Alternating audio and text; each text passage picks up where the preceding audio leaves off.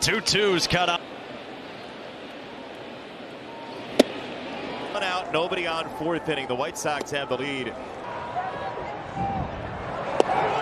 Checks away. From the Red Sox left fielder on playing at the Green Monster. Good one. That's a strikeout pitch. See if we see it here. There.